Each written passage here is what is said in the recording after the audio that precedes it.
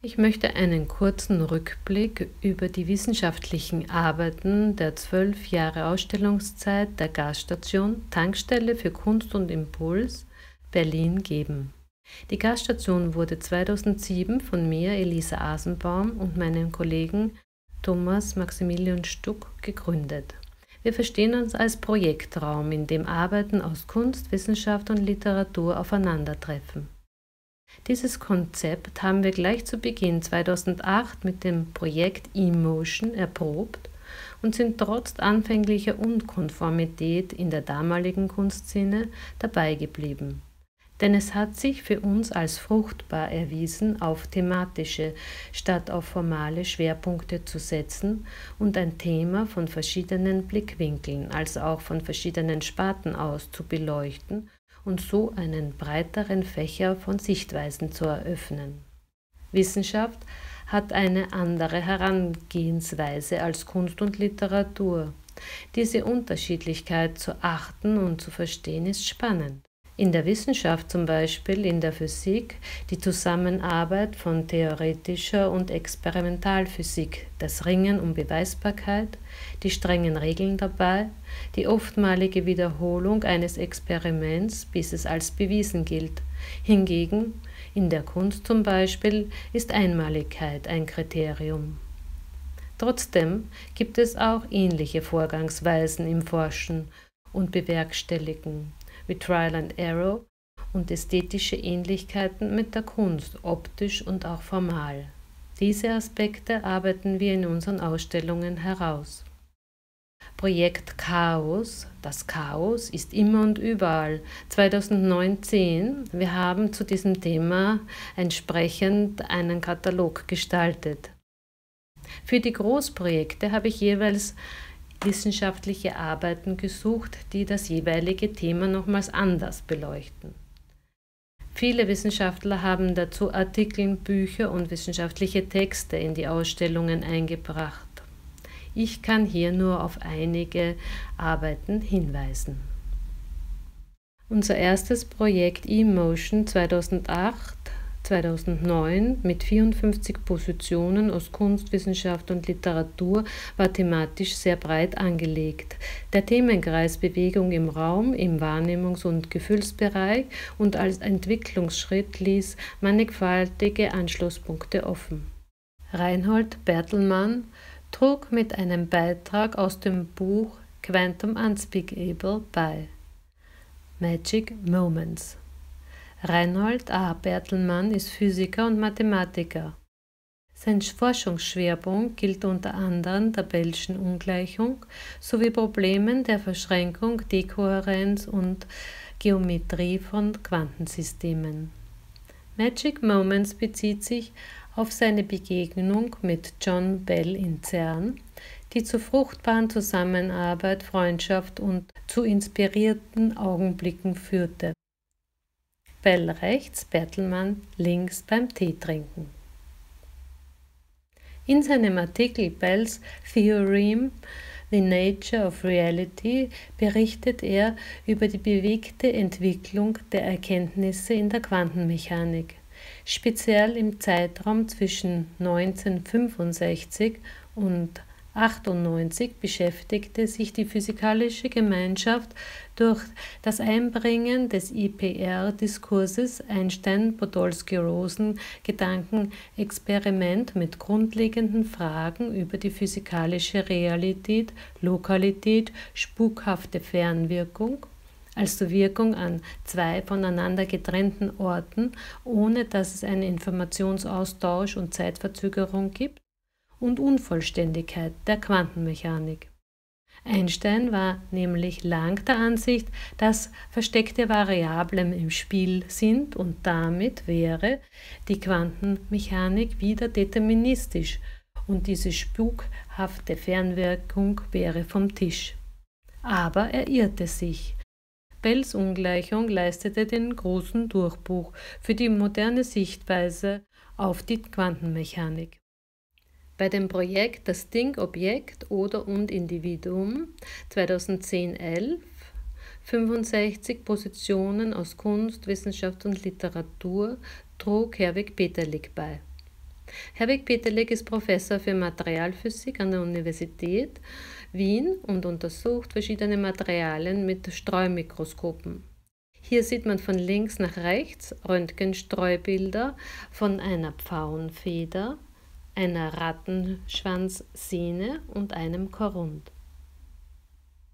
Bei seiner Arbeit Realraumobjekt reziproker Raum sieht man eine Fotografie einer Pfeife, die einem abstrakt erscheinenden Bild gegenübersteht.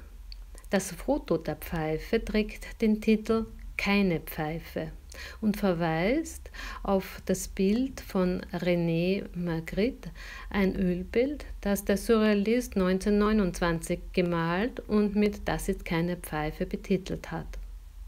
Die abgebildete Pfeife sieht man rechts als Röntgenstreubild, auf dem steht eine Pfeife. Seine Arbeit macht anhand einer Gegenüberstellung zweier Darstellungen von ein und demselben Objekt auf die verschiedenen Aspekte der Existenz eines Dings aufmerksam. 2011-12 Keine Zeit, Zeitphänomene, Phänomene der Zeit. 48 Positionen aus Kunst, Wissenschaft und Literatur. Hartmut Rosa ist Soziologe und Politwissenschaftler und lehrt an der Friedrich-Schiller-Universität in Jena. Sein Beitrag war das Buch Beschleunigung, die Veränderung der Zeitstrukturen in der Moderne. Hartmut Rosa hat eine erfreulichen tiefgehende Analyse moderner und spätmoderner Zeitphänomene entwickelt. Dabei benennt und diskutiert er die Relevanz der Beschleunigungsspirale als ein komplexes, maßgebendes Gesellschaftsproblem, welches aus politischen, wirtschaftlichen und geschichtlichen Dynamiken sowie ihren Wertvorstellungen und Abhängigkeiten resultiert. Herbert Bitschmann ist Physiker und Autor vieler wissenschaftlicher und populärwissenschaftlicher Bücher. Er war Leiter des Instituts für theoretische Physik an der Universität Wien. Er hat bei vielen unserer Projekte beigetragen. Für das Ausstellungsprojekt Keine Zeit haben wir zusammen ein interaktives Videointerview erstellt. Besucherinnen und Besucher konnten einzelne Fragen eigenständig über Touchscreen auswählen und Teile des Interviews konnten auch als Podcast aus der Ausstellung mitgenommen Theorie in seinem lebendigen Redefluss verbindet er breites physikalisches Fachwissen mit zeitgeschichtlichen und philosophischen Aspekten. Das Gespräch erstreckt sich vom Wandel der Zeitauffassung im physikalischen Sinne, wie die absolute Zeit bei Newton, die relative Zeit bei Einstein und die Zeitauffassung in der Quantenmechanik bis zu gesellschaftskritischen Betrachtungen, zum Beispiel der Entwicklung im Bildungsbereich im europäischen Raum. Heiko Hecht ist Leiter der Abteilung Allgemeine experimentelle Psychologie an der Johannes Gutenberg Universität in Mainz. Er arbeitete am NASA Ames Research Center. Seine Interessen sind Bildwahrnehmung, Wahrnehmung und Handeln in extremen Umgebungen, Kontakteinschätzung, virtuelle Realität und künstliche Schwerkraft. In seinem Buchbeitrag Zeitwahrnehmung als Bewegungswahrnehmung untersucht er den engen Zusammenhang zwischen der Wahrnehmung von Bewegungen und unserem Zeitempfinden. Gemeinsam haben wir für die Ausstellung einige Animationen dazu erstellt. Albert Michote 1954 wies nach, dass Beobachter die Bewegung zweier simplen Objekte, etwa zweier sich hintereinander herbewegenden Punkte, als kausal verursacht und aufeinander bezogen wahrnehmen. Die Perfektheit und das Fehler. 40 Positionen aus Kunst, Wissenschaft und Literatur 2013-14. Viktor Kröger ist Festkörperphysiker. Für die Ausstellung hat er den wissenschaftlichen Textbeitrag wie Abweichung von der Perfektion Neues möglich macht, Gitterfehler im Festkörper verfasst. Das Plakat ist in Zusammenarbeit mit Wolfgang Lang, Stefan Buchecker, Fakultät für Physik an der Universität Wien und der Gasstation Berlin entstanden. Geistesgeschichtlich betrachtet ist die Tatsache interessant, dass die abendländische Kultur, die die Wissenschaft geprägt hat, meist von einer idealisierten Vorstellung ausgeht. In diesem Fall ist es ein vollkommenes, regelmäßiges, geometrisches Gitternetz von Atomen des idealen Kristalls, wie es praktisch nie in der Natur vorkommt. In der Materialphysik sind diese Gitterfehler maßgebend für bestimmte Materialeigenschaften, wie zum Beispiel Biegsamkeit, Verformbarkeit von Metallen, Härte bei Legierungen oder spezielle Eigenschaften bei Halbleitern. Sogar wird technisch viel Aufwand betrieben, Gitterfehler einzubringen, um dem Material spezielle Eigenschaften zu verleihen. James Shapiro ist Mikrobiologe an der Universität Chicago. Er hat eine überaus lange Forschungslaufbahn hinter sich. Ab 1980 hatte Shapiro eine enge wissenschaftliche und persönliche Freundschaft mit Barbara McClintock bis zu deren Tod 1992, von der er sagt, sie habe ihm die Augen geöffnet, um Wissenschaft allgemein und im Speziellen die Evolution völlig neu zu überdenken. Shapiro ist seit über 20 Jahren ein führender wissenschaftlicher Kritiker der orthodoxen Evolutionstheorie. In seinem Buchbeitrag Evolution a View from the 21st Century fasst er die Grundzüge seiner Thesen zusammen.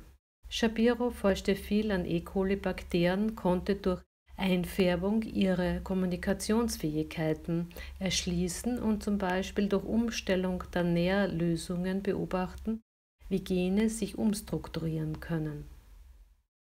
Lebende Organismen besitzen in den Zellen Möglichkeit und genetische Werkzeuge, um das eigene Genom aktiv zu modifizieren.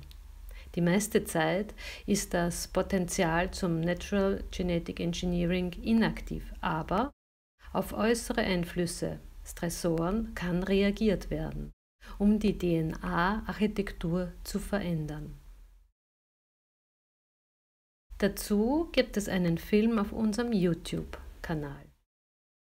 Shapiro hat auch bei Augustina träumte im Progressius 2015-16 27 Positionen aus Kunst, Wissenschaft und Literatur mitgemacht, und zwar zum Themenkreis Ich, Einheit oder Vielheit.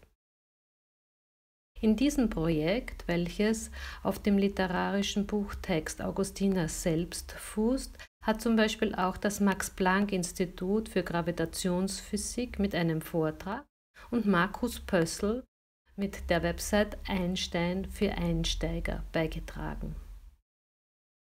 Markus Pössl hat Einstein für Einsteiger am Albert Einstein Institut ins Leben gerufen, die meisten Beiträge vorerst selbst verfasst.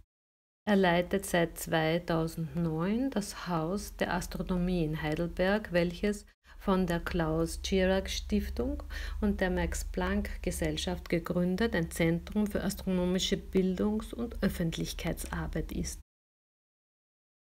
Beim Projekt Augustiner träumt im Progressius war der Beitrag im Themenkreis Bewegung Raumzeit angesiedelt und gab wunderbaren Aufschluss über den Wandel der Raumzeitauffassung durch Albert Einstein der die ART, die Allgemeine Relativitätstheorie, 1915 bekannt gab. Eine Theorie, die unser physikalisches Weltbild revolutioniert hat. Mit dieser Theorie werden die Erscheinungen der Schwerkraft als Effekte der verzerrten Raumzeit erklärt. Raum, Zeit und Gravitation sind damit untrennbar miteinander verbunden. Diese Animation zeigt eine Gravitationswelle, auch von Markus Pössl erstellt. Und hier die Zentralregion einer Supernova, eine Sekunde nach dem Einsetzen der Explosion. Hellere Regionen entsprechen großer Dichte. Supernovas werden heute als Standardkerzen zur Entfernungsbestimmung genutzt. Und das ist ein Bild von einem schwarzen Loch, welches ich für Carlo Rovelli gezeichnet habe. Schwarze Löcher treten oft als binäre Systeme auf. Das bedeutet, dass ein schwarzes Loch und zum Beispiel ein Stern gravitativ aneinander gebunden sind. In der Illustration sehen wir, dass Materie des Sterns von dem schwarzen Loch angesaugt wird und teilweise in diesem verschwindet. Der Materiestrom spiralisiert sich um das schwarze Loch und bildet so eine rotierende Akkretionsscheibe. Teilweise wird auch etwas Materie in Form eines Jets abgestoßen. Der Buchbeitrag von Carlo Rovelli, Die Wirklichkeit, die nicht so ist, wie es scheint, eine Reise in die Welt der Quantengravitation und der Artikel Relational Quantum Mechanics wurde bei dem Projekt Schein und Spiegelung, ein Relationspositionsprojekt 2018-19 mit 25 Positionen aus Kunst, Literatur und Wissenschaft gezeigt. Carlo Rovelli ist theoretischer Physiker aus Verona und wurde durch seine Beiträge zur Theorie der Schleifenquantengravitation bekannt. Außerdem arbeitet er schon lange an einer relationalen Sichtweise der Quantenmechanik. Derzeit leitet er die Gravitationsgruppe an der Fakultät für Theoretische Physik der Universität in Marseille in Frankreich. Ebenso in Schein und Spiegelung hat Czaslaw Bruckner mit dem Beitrag Quantum Causality einen Fachartikel gemeinsam in Zusammenarbeit mit einigen Kollegen, bei dem es um die kausale Ordnung geht, beigetragen. So wie das Phänomen der quantenmechanischen Unschärfe oder Überlagerung, wie zum Beispiel der Schrödinger Katze, tot und gleichzeitig lebendig ist, könnte ein Ereignis Ursache von einem anderen Ereignis und gleichzeitig von diesem verursacht sein. Diese Situation deutet auf eine indefinite überlagerte Zeitstruktur oder Zeitordnung hin, sodass das Ereignis A vor dem Ereignis B liegt, aber auch zugleich das Ereignis B vor dem Ereignis A geschieht. Wo können solche indefiniten kausalen Strukturen überhaupt vorkommen? Bruckner führt als Beispiel ein massereiches Objekt an, welches sich in Superposition von zwei räumlich getrennten Orten befindet. Hier kommt sowohl die Quantentheorie als auch die allgemeine Relativitätstheorie zum Tragen. 2017 gelang ein Experiment, das solche Situationen eindeutig nachweist. Bei der Versuchsanordnung wurde der Informationsfluss zwischen zwei Einheiten, zwei Labors im quantenmechanischen Sinn, eines von Alice und eines von Bob, in Überlagerung gebracht. Wir haben diesen Versuchsaufbau in der Gasstation als Objekt optisch versinnbildlicht. Hier sehen Sie es. Czaslaw Bruckner ist theoretischer Physiker. Er war bis 2019 Direktor des Instituts für Quantenoptik und Quanteninformation Wien ICOKI an der Österreichischen Akademie der Wissenschaft und ist Professor für Quanteninformationstheorie und Grundlagen der Quantenphysik an der Universität Wien. Vittorio Galese von der Universität Parma gilt als einer der weltweit führenden Experten im Bereich der sozialen Neurowissenschaften. In seinen interdisziplinären Arbeiten fließen sowohl Erkenntnisse und Ansätze aus der Philosophie als auch aus der Psychologie und den Neurowissenschaften ein. Vision of the Body Embodied Simulation and Aesthetics Experience. Der Fachartikel war ein Beitrag für Schein und Spiegelung. Vittorio Galese ist einer der Väter der Entdeckung des Spiegeleffekts. Er hat das Phänomen der Spiegelung in seinem Modell Embodied Simulation weitreichend ausgebaut. Eigentlich war es ein Zufallstreffer, der die Forschung der Spiegelphänomene in Gang setzte. Die Untersuchung galt elektrischen Signalen von grauen Zellen, die den Bewegungsablauf bei Affen auslösen. Immer wenn das Tier nach Futter griff, feuerten Neuronen elektrische Impulse. Den Ausschlag konnte man auch als ein deutliches Knattern in einem Messgerät hören. Aber nicht nur das Forschungsteam beobachtete die Versuchstiere, auch die Versuchstiere beobachteten das Team. Als Galese selbst einmal nach einer Nuss griff, um zum Naschen, stellten die Forscher fest, dass beim Affen, der Galese beobachtet hatte, ein Ausschlag zu hören war, als hätte sich der Affe selbst bewegt.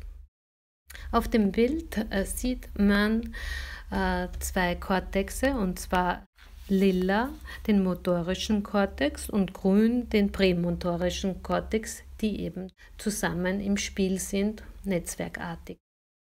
Es gab noch sehr viele interessante wissenschaftliche Beiträge in unseren Ausstellungen. In unseren Katalogen sind alle präsentiert.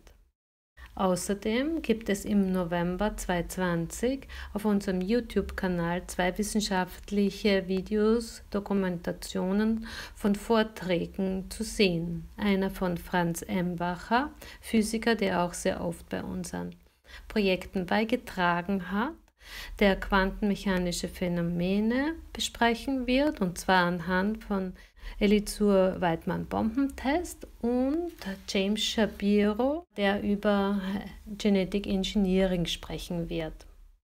Ich danke für Ihre Aufmerksamkeit. Es sprach Elisa Asenbaum, zuständig für den Wissenschaftsbereich in der Gasstation, Tankstelle für Kunst und Impuls in Berlin.